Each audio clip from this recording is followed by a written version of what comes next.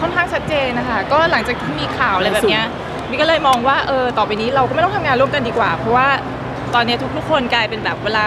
เวทีไหนที่เราเดินด้วยกัน หรือว่าทำงานร่วมกันคนมักจะสร้างกระแสให้เราเอง โดยที่เราไม่ได้สร้างกระแสเลย แล้วก็มีแต่กระแสที่แบบติดลบคือ เดี๋ยวตบกันหรือเปล่า เดี๋ยวคอมเมนต์กันหรือเปล่า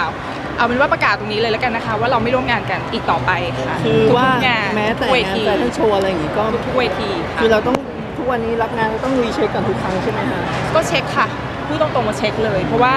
เราเบื่อที่จะต้องคนมาโฟกัสว่า เอ้ยเราจะตบกันไหม เราจะคอมเมนต์กันไหม หรือบางทีแบบเดินเสื้อบีเชื่อว่าหลาย ๆ คนก็คงลำบากใจไปด้วย เพราะฉะนั้นเนี่ยก็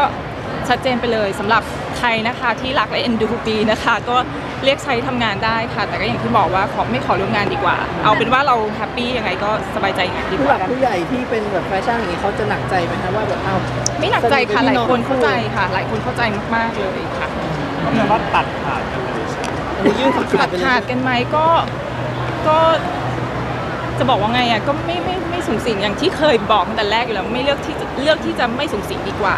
อะไรที่มันเป็นกระแสต่อไปนี้ หลังจากนี้ว่ามันจะมีการแบบร่วมงานกันแล้วตบกันไหมคอมเมนต์กันไหมบอกเลยค่ะว่าจะไม่มีอีกต่อไปค่ะกลัวจะโดนมองว่าแบบไม่มืออาชีพนะคะพี่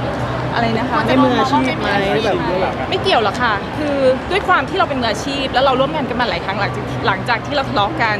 แต่บางครั้งเนี่ยมันกลายเป็นกระแส ซึ่งทำให้เรารู้สึกว่าแบบมันเป็นข่าวที่ไม่ค่อยดีเท่าไหร่กลายเป็นข่าวที่แบบ เราคอมเมนต์กันหรือเราจะตบกันดูอยู่บนเวทีก็จะมีแต่ภาพนี้ตลอดเวลา ซึ่งบีรู้สึกว่า